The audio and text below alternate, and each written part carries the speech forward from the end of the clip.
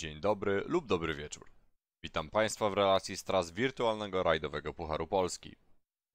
Drugą rundą WRPP był rajd Świdnicki-Krause, znany przede wszystkim z uplasowanych na odcinku Przełęcz Balimska Michałkowa Górna nawrotów, które co roku cieszą się wielką popularnością i skupiają rzesze kibiców. Rajd składał się z dziewięciu odcinków specjalnych znajdujących się tak w pobliżu, jak i w samej Świdnicy. Łącznie 79 km OS-owych.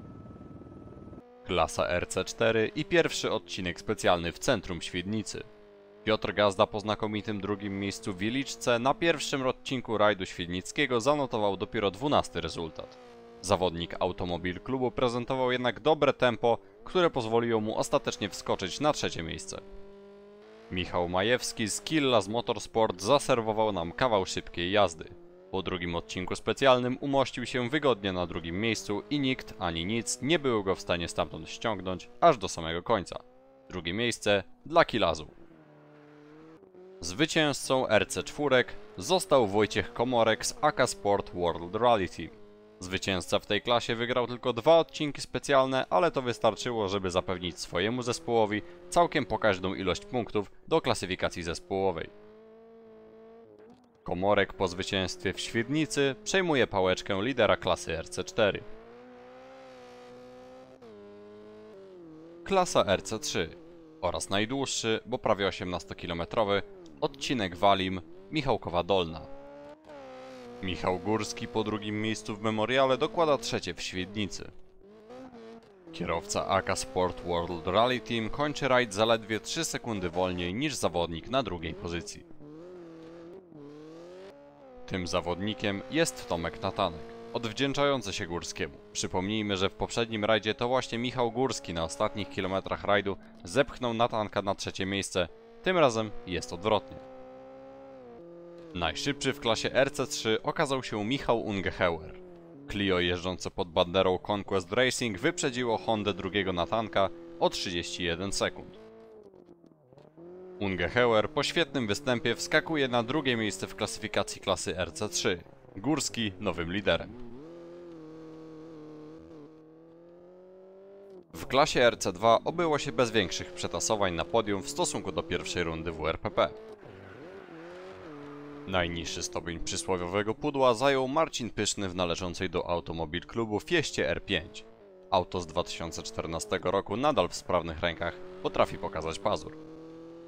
Na drugie miejsce wjechało Polo GTI R5, za sterami którego siedział Kamil Żurawlew. Zaprawiony w bojach kierowca AK Sport World Rally Team dojechał na metę szybciej od niemal wszystkich. To pierwsze podium Volkswagena w tym sezonie WRPP. Jedynym kierowcą szybszym od Żurawlewa na świdnickich asfaltach w tej klasie był Mateusz Koralewski, jeżdżący dla Tubi Rally.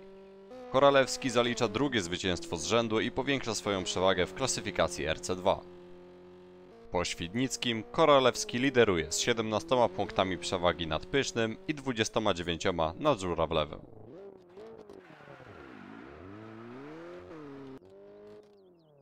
Czas na klasę historyczną. Przypomnijmy, że rywalizują tutaj samochody z legendarnej grupy A. Dawid Wieczorek w Subaru zaliczył bardzo udany występ. Po zwycięstwie w Wiliczce kierowca Tubi Rally odnotowuje trzecie miejsce w Świdnicy 24,5 sekundy za liderem.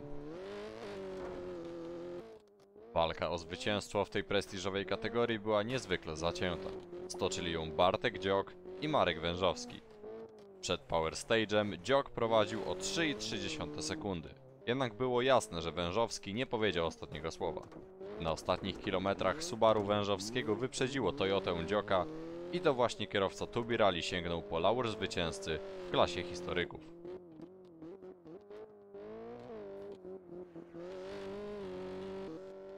W klasie WRC obyło się bez większych niespodzianek. Triumfowali faworyci, ale nie wyprzedzajmy faktów.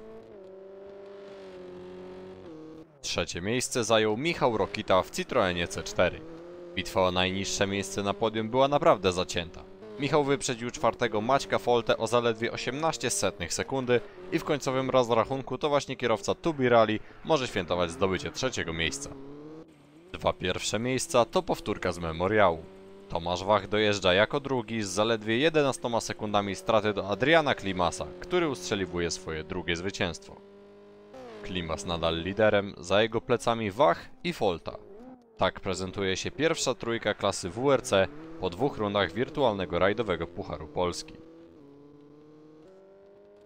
Klasyfikacja zespołowa wirtualnego rajdowego Pucharu Polski prezentuje się w następujący sposób. Prowadzi AK Sport World Rally Team, za nimi Tubi Rally z zaledwie 8 punktami straty. Trzecie miejsce, 22 punkty w tyle, zajmuje Automobil Klub Polski World Rally Team.